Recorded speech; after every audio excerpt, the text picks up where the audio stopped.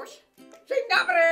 Uuu, Cześć! Tak, ja pewnego razu wypadłem e, z jednej książki i, i, i jak ja spojrzałem do góry, ojej, tu ja zobaczyłem po prostu regały wypełnione książkami aż do samego sufitu. To były taki, to były takie książkowe, po prostu takie książkowe labirynty.